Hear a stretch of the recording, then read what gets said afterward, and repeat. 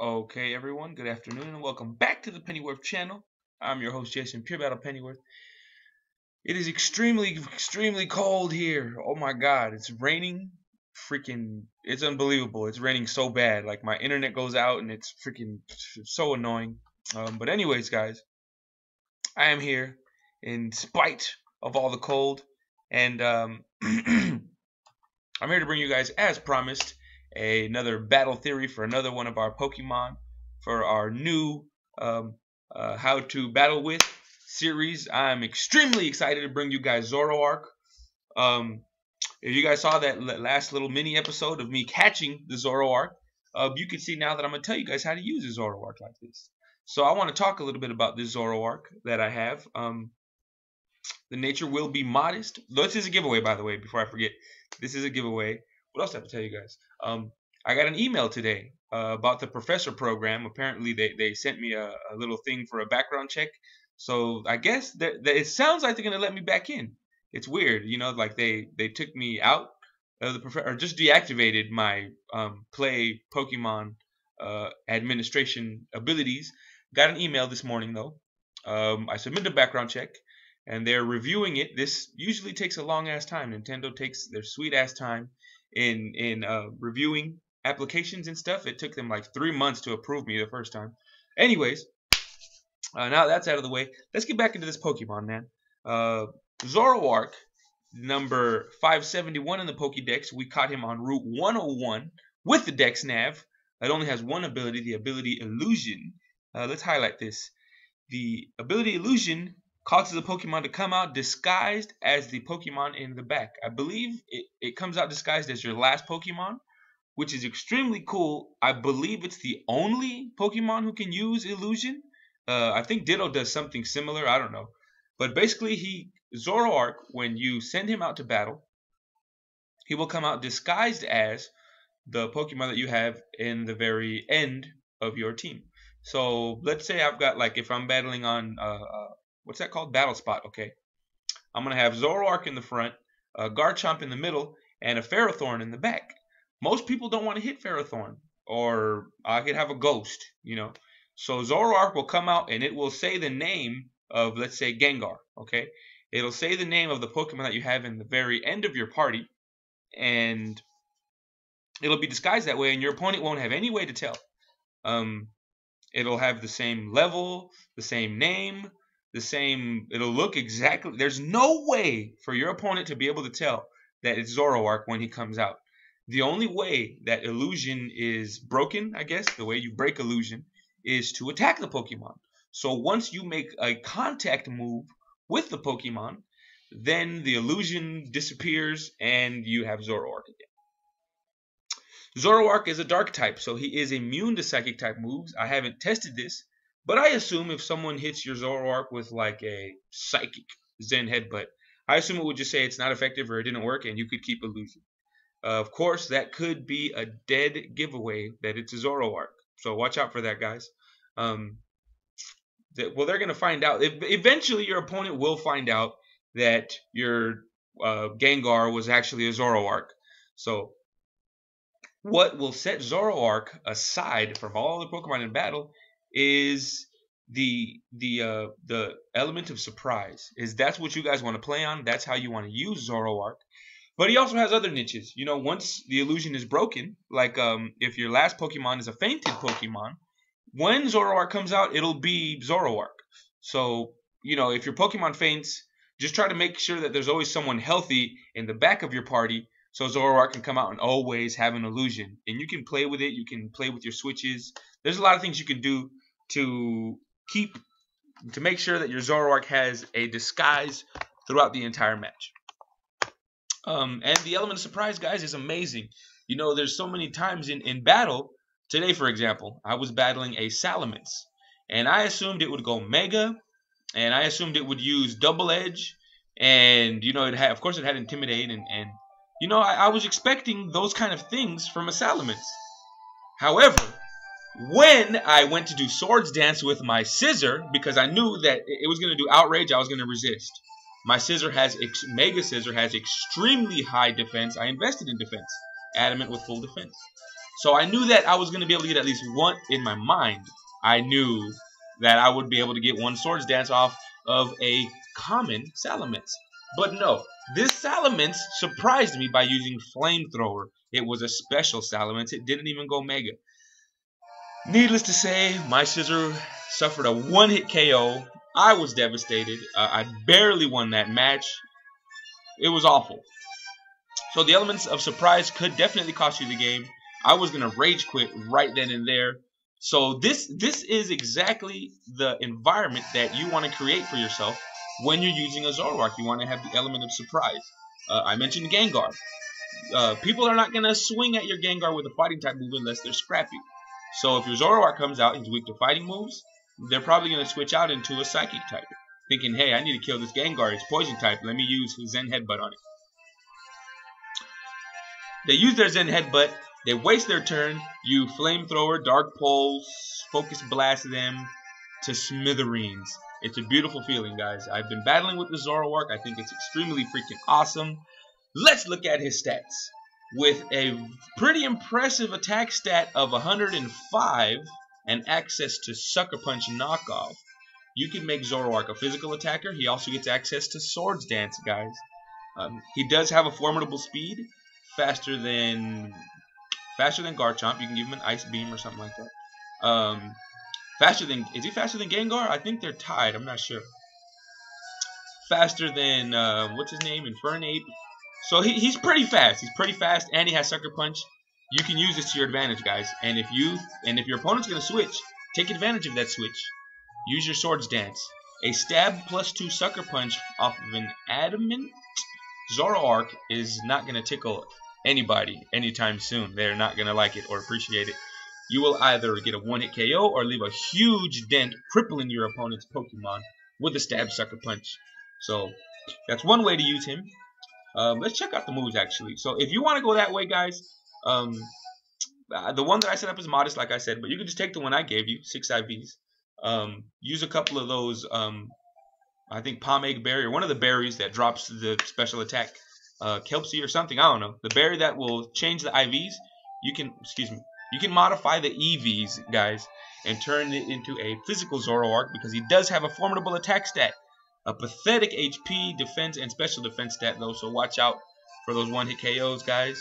Focus Sash is also notable if you want your Zoroark to survive a turn, or safely set up his Swords Dance, Calm Mind, Nasty Plot, all of which he gets access to. You can give him a Focus Sash. But if you're really tricky, like myself, and you like taking huge risks, then you will probably just set up, uh, predict them to switch, get a free turn of setup, and then proceed to sweep their entire team. If it works, you know, they could use priority moves. Be careful with Mach Punch, guys. Once they find out your Zoroark to Zoroark, watch out for that Mach Punch. You don't have any way to get past Mach Punch except Sucker Punch, which, if you're not faster, it will fail. But since you're probably faster than most Mach Punchers, you'll do some good damage. Um, anyways, the one that I set up for you guys is actually modest. Um, he also gets, uh, let's see, moves like U-turn, hone Claws is worthless. You got Night Daze, Pursuit. Pursuit's pretty awesome, guys. Consider Pursuit when you're building your Zoroark. Um, nasty Plot, Agility, Foul Play, also a very formidable move in battle. Um, if you don't know what Foul Play does, Foul play actually takes your opponent's attack stat. So you could be a special attacking Zoroark like the one that I'm going to give you guys today. You could be a special attacker and have foul play on your team and do gargantuan damage. If you know you're faster than your opponent and you know that they have massive attack power, if they just did their own swords dance and they don't have a priority move, you can do foul play and likely murder them. If they did a swords dance, you are going to freaking decimate your opponent's Pokemon if you're faster than them. Um, the one that I have has Calm Mind, however. The one I'm giving you guys has Calm Mind. And it's I'm intent what I'm trying to do is increase my special attack stat and my special defense stat. So hopefully in hopes that I can turn Zoroark not only into a sweeper, but into a physical wall at some point. So when they do figure out, hey, this is a Zoroark, hopefully it'll be too late. And when they pull out their stall Pokemon, I still have a taunt that I can turn to. Uh, so they won't be able to burn me, poison me, paralyze me, you know, stuff like that. They won't be able to use soft boiled. Blissey especially will be quite annoying. That's what taunt is for, guys. Anyways, egg moves. Uh, counter, dark pulse is um, you can mention dark pulse. The one that I'm giving you guys has extra sensory. matter of fact, let me let me go straight to that. Let me let me pull this thing out, man. I have it. I have pictures for you guys right over here. I don't even know why I didn't just turn to them to begin with. But let's let's keep his stats. Let's keep his stats there. Go back over here and check out what kind of. It is extremely cold. What kind of weather are you guys having right now? Drop that in the comments. Like what kind of like it? It's raining super bad here. it's awful. Like excuse me. You can hear the rain beating down on my house. It's like it's unbelievable. And I'm freezing. I'm inside my house. And like I have a heater, but it's freaking freezing. I don't know. Anyways, back to what I was saying. This Zoroark, this is a giveaway. The Zoroark that I'm giving you guys today is going to have full special attack investment, full speed investment, and just a little bit of special defense investment. If you do get off the Calm Mind, you can give yourself something like a Sitrus Berry and Thief knockoff, something like that. Maybe some leftovers. Uh, Focus Sash is also notable. You are fast, guys. You are fast. And you will do some pretty good damage on the special side with a base 120 special attack you're pretty dangerous with the, and you get flamethrower. I think you get ice beam. You get uh, grass knot. You get a lot of really cool access to a lot of really cool moves. Um, the only real downside is that you're not going to get stabbed on a lot of them unless they're dark. not a big deal. Um, speed. You outspeed quite a few things, guys. If you don't, if, as long as they're not holding a scarf, you're like faster than I don't know, man, like 80% of the metagame. And right off the bat, like you don't have to use agility or nothing. You're just faster. Uh, I know Greninja's faster than you. Manectric is faster than you. Aerodactyl is faster than you. Crobat is faster than you. So be extremely careful when you are battling those Pokemon, guys. Hidden Power Rock could be a good way to go to if you predict them bringing in a, you know, if they have a Talonflame that's not afraid of taking Dark Pulse, predict a Hidden Power Rock, boom, you just turn Talonflame into extra crispy chicken. Um, so yes, this EV spread that I'm giving you guys is so you can deal massive damage. And the nature. Let me pull out this nature. Oh, whoops, wrong one. There you go. Bam. No, that's not the nature either. I don't even have the nature.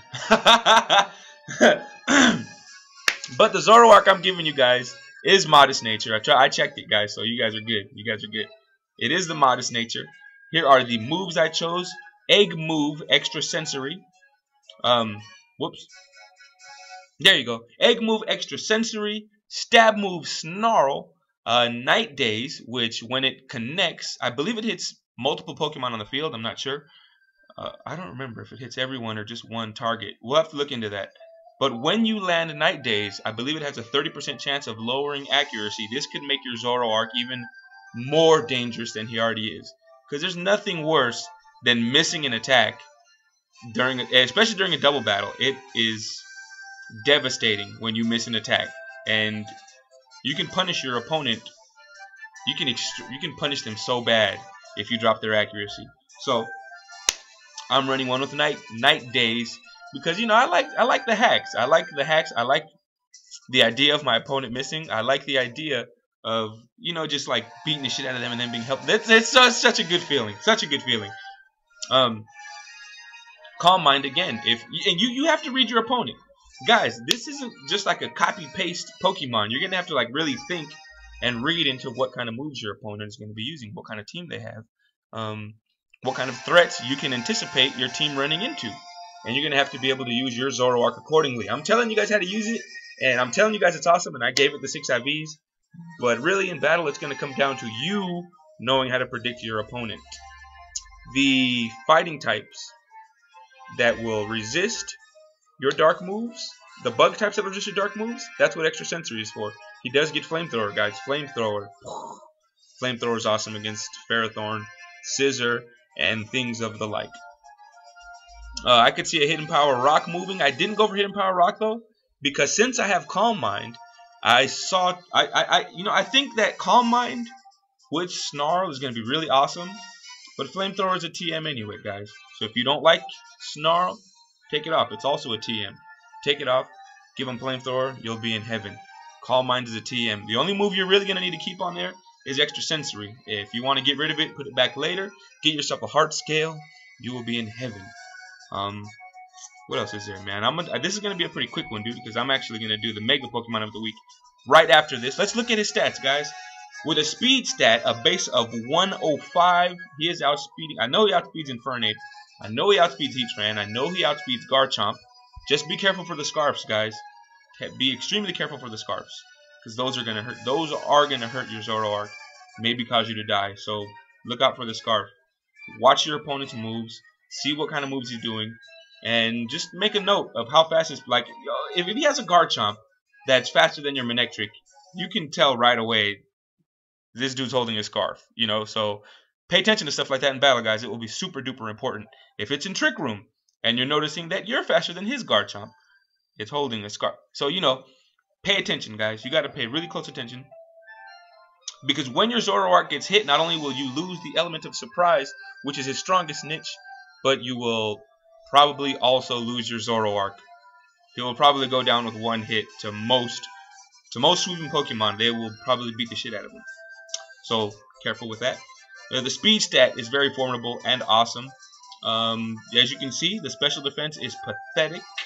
The physical defense is equally pathetic, but actually a little bit worse. the HP is bad. This one's like level 85, guys. Uh, the attack is actually pretty good, but this one's modest. So you can see that his attack went down a little bit because of the nature. But his attack power is formidable, guys. If you guys want to run a physical one, no problem. This one has six IVs. Go breed it with one. Make it jolly. Make it adamant. Give it Sucker Punch. He gets Sucker Punch. This one has Sucker Punch already as an egg move. And I think you learn it also. You can, throw, you can throw knockoff on him. You're going to be in heaven, guys. Zoroark is an extremely fun Pokemon to use. I think you guys are going to love it. Um, I love using it. I, I hate when he dies. It's like, ah, it's the worst freaking feeling in the world when your Pokemon start dying. But um, learn how to use the illusion, guys. Learn, just put yourself in your opponent's shoes. You know, like, okay, my opponent has a Charizard, you know, and I want him to think that my Zoroark is a melodic. So he'll use grass or something. It's not stab. You won't die to it. Probably won't die to it, especially not after a Calm Mind or a Snarl. So and you're faster than Mega Charizard. Forgot to tell you guys that you are faster than Mega Charizard. So he's not. He's gonna want to hit you with that. You know, think, think for your opponent. You know, put yourself in their shoes and think about what they would be doing. You know, they might predict you to switch if your Zoroark is disguised as a melodic. They're like, oh, this was gonna switch, so I'll just use Flamethrower, and you don't switch, but you're still faster. Hidden Power Rock. You just popped your Charizard. Anyways, guys, I was extremely happy to bring you guys this video. I'm uploading this immediately, and right after this video, the the today all day, I'm be giving out the Zoroark for free. So all you have to do is jump online, get a Zoroark. If you're not already my friend or a sub, um, you might want to do that. Uh, if you're not interested in, if you're not even interested in this, um, or the series, you don't got to sub. You don't got to do nothing. But if you just want the Zoroark, send me an email. I do answer my emails all the time. My email is down in the description. You can find it down there. Um, this is a giveaway. It's free. Check it out. Battle with it. It's awesome. Send me some battle replay codes, guys. I love, I love, love, love seeing the Pokemon that I made in battle. And they are flawless. You can bring them into tournaments. You can battle with them. They're VGC legal. I don't even know if Smogon has restrictions, but this thing is legal on every platform. You can battle spot with it. You can play online with it. You can do whatever you want with it, guys. I hope you enjoyed this giveaway. I am going to be uploading the Mega Pokemon of the Week right after this. Anyways, drop a like, share us on social social media. You're so excited, Jason. You're so exciting, Jason. Anyways, guys, I'm so glad you guys checked out the channel. Um, stop by and check out my Poké Dollar video. Uh, stop by the Facebook page for some battles. Um, yeah, man, it's it's cold. It's cold today, guys. Stay warm. Peace.